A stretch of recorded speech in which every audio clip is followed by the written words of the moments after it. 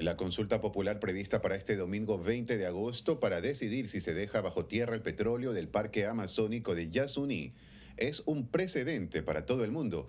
Así lo afirmó en París la activista ecuatoriana Elena Gualinga, al margen de una cumbre internacional sobre finanzas climáticas. Elena, un gusto tenerte en Noticias. Bienvenida. Buenos días.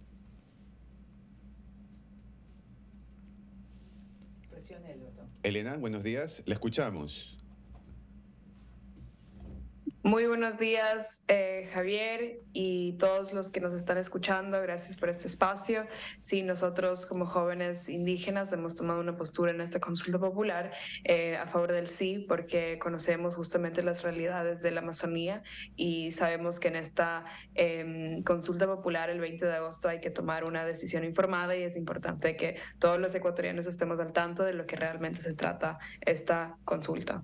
Debido a la presión, Elena, de organismos ambientalistas, Ecuador celebrará esta consulta con la que se busca frenar definitivamente la explotación petrolera en una zona declarada reserva de la biosfera. Pero ¿cómo lograrlo? ¿Cómo encontrar realmente esa paz para el país y también para eh, la selva? La escuchamos, Elena. Sí, bueno, el, el Yasuní TT es un caso muy particular, como usted dijo, es declarado em, como un, bueno, es como un lugar importante de la biosfera es considerado un patrimonio de la humanidad y un montón de otras declaraciones y reconocimientos que tiene el IASUN em, ITT. También es donde viven los pueblos indígenas en, aislamiento voluntario. Entonces, esto es un caso muy, muy particular y acordémonos que esta consulta se trata de únicamente de un bloque petrolero en la Amazonía. Em, que ya ha demostrado que no es eh, un bloque petrolero que está contribuyendo mucho en general a la, a la, economía ecuatoriana. Las cifras que se han presentado a nivel nacional han sido cifras infladas y muy altamente cuestionadas por expertos y conocemos que ya está la producción de petróleo en una grave declinación en este, en este pozo petrolero. Ahora, en, en, este caso, en donde ya sabemos que la fecha de caducidad del petróleo es muy, muy pronto en este bloque, en donde ya eh, de una, desde una perspectiva económica ya no es una, em, una actividad rentable, tenemos esta oportunidad histórica de, mediante la consulta popular, mediante el voto popular, eh, posicionarle a Ecuador como país, como uno de los países más relevantes y atractivos en cuanto a inversiones verdes, etcétera. Incluso estamos hablando de, em, de, de, llegar a la altura e incluso pasar países como Costa Rica, que ya tienen economías que no dependen de, em, eh, del petróleo. Em, entonces, eh, eh, esto realmente es una oportunidad para Ecuador para empezar esta transición a una era post-petrolera.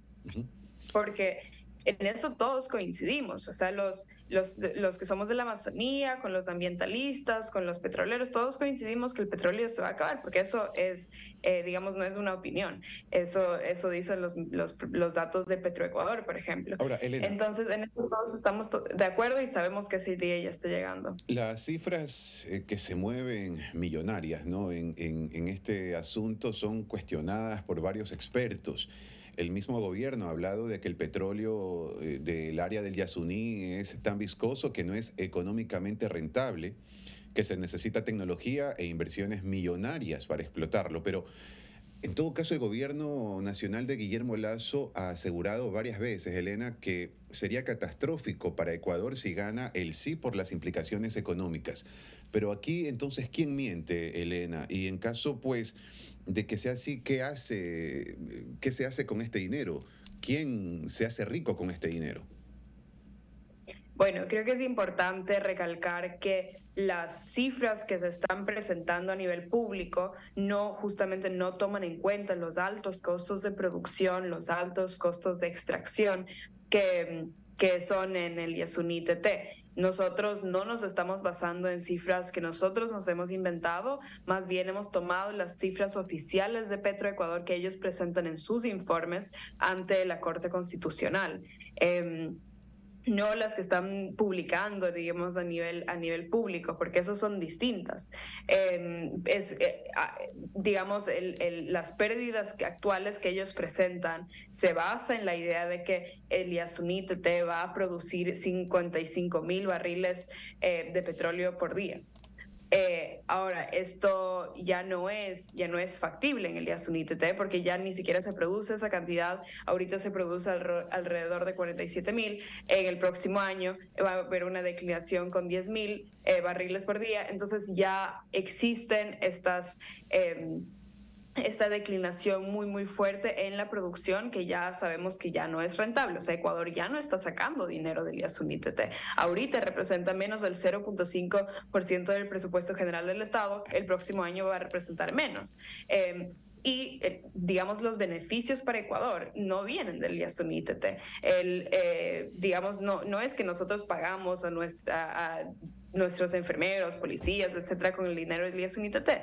No, eso, eh, eso es dinero que se llevan los intermediarios chinos y americanos que existen, eh, que trabajan y operan dentro de los parques nacionales. Y los, los, los pocos puestos de trabajo que quedan, que realmente es la migaja de la industria petrolera. Eso sí han repartido eh, a los ecuatorianos, pero no, es una, no es una, em, una parte significativa. Petroecuador insiste con unas cifras que realmente asustan. Entonces, insisto, ¿quién miente aquí, Elena? Petroecuador indica que tendrá un año para retirar de manera progresiva toda actividad relacionada con la extracción de petróleo. Además, menciona que esta decisión se calcularía en 16.470 millones de dólares, que incluye casi 14 mil millones de dólares que el Estado dejaría de percibir en ingresos en los próximos 20 años porque ya no se extraerían las reservas que aún tiene el campo petrolero. Por otro lado, habla de que el costo de abandono del campo ascendería a 467 millones de dólares. Son cifras que asustan definitivamente a todos los ecuatorianos también, Elena. Sí, y por eso justamente nosotros nos hemos basado en las cifras que ellos presentan en sus informes ante la Corte Constitucional. Las pérdidas de millonarias de, las que ellos hablan se basa en que la producción se va a mantener a los 55 mil barriles por día. Eso, según sus, sus, informes, sabemos que eso no es la realidad y que incluso ha declinado esa producción em, eh, diaria. Entonces, ya las cifras que ellos están presentando es basada en una teoría de que la producción... Eh, va a seguir en, digamos, a la misma altura, que ya conocemos que no lo están haciendo.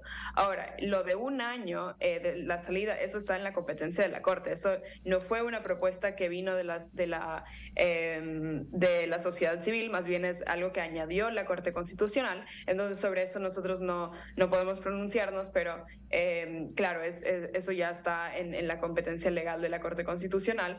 Em, y, y, es súper importante que, que esta transición eh, se dé de una manera justa, porque han habido muchos casos en donde eh, las licencias ambientales han caducado y empresas petroleras extranjeras, más que todo, em, han, digamos, entregado sus licencias a Petroecuador y a la final no ha habido un proceso de eh, de cierre de estos pozos petroleros. Este es, va a ser el primer caso en donde eso realmente se dé. Es un gran aprendizaje, primeramente, para Ecuador. Eh, para tomar, para tomar em, esa, esa ruta. Pero si es que estamos hablando de todos los millones, miles y millones de dólares que necesitamos invertir solamente para extraer ese petróleo, eh, si existe la capacidad también eh, para el, desmontar, digamos, este, este pozo petrolero. Elena, ahora, desde un, desde un punto de vista económico, serio, sustentado en cifras oficiales, como estamos hablando acá, el país no se hundiría ni, si, ni seguiría a la quiebra si se deja el petróleo del Yasuní bajo la tierra desde su punto de vista, ¿no? Pero entonces,